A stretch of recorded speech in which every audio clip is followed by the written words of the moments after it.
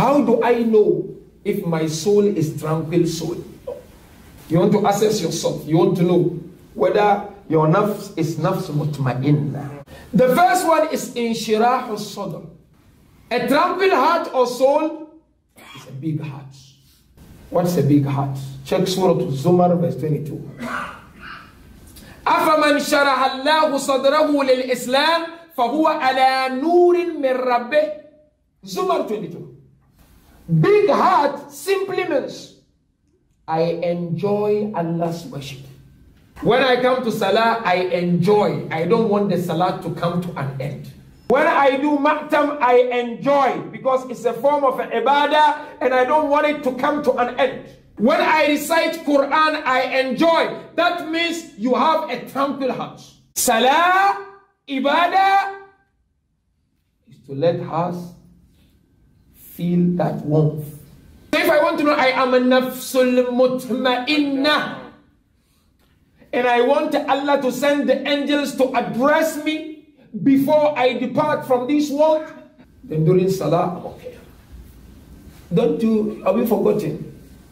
The munajat, Imam Amil Muminin in his munajat used to recite, كفى بي عزا أن تكون لي ربا وكفى بي فخرا أن أكون لك عبدا أنت كما أحب فاجعلني كما تحب الله أكبر Imam Ali said, It is enough honor for me that you are my Lord. And I'm proud that I am your servant. Said, Oh Allah, you are the way I want. Make me the way you want. That's the first sign of a tranquil soul. Some souls know they are not tranquil. You come to ibadah, is so agitated, you want to finish. ثم كست قلوب من بعد ذلك فهي كالحجارة أو أشد قسوة. Quran says some of the souls are very hard, even harder than the stones and mountains. أأنذرتهم أم لم تنذرهم لا يؤمنون.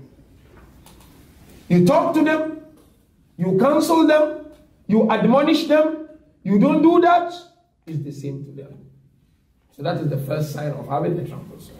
The second sign is hudu, calmness. Someone who's got tranquil soul is always calm. Very calm. And refer you back to the first verse, Surah Al-Fath, verse 4. أنزل السكينة في قلوب المؤمنين Allah placed that tranquility and peace in his hearts.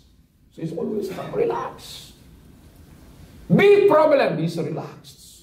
Because his aim is Allah and nobody else. Haven't you forget the I Arafah of Abu Abdullah? What has he found who has lost you? And what has he lost who has found you? So the second sign is that tranquil heart is always calm, relaxed. And the third sign of a tranquil soul is athabat, steadfastness. Do you see, we, are we steadfast really? Do you think we are steadfast? We are not nafs al-mutma'inna. One of the verification of nafs al-mutma'inna is Abu Abdullah. And if you claim to love Abu Abdullah, then you must also be nafs al-mutma'inna. Sabat. Allah in Quran said, يثبت الله يثبت الله الذين آمنوا بالقول الثابت في الحياة الدنيا والآخرة.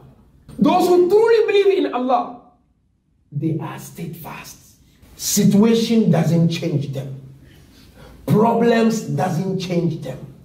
In fact, it makes them more stronger. Because Imam Ali said, Allah examined the one he loved the most. Hence, he examined Ahl al Bayt more than any other